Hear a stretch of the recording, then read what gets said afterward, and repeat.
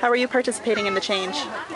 Well, here at Eco Everything, we are a business that follows the triple bottom line. So that means that we put uh, environmental, social, and financial uh, responsibilities all uh, as equal importance to us. For example, we have this line of bags called Freeset, and they provide um, an opportunity for women in the sex trade of a red light district in Calcutta to free themselves by uh, making these bags and providing employment.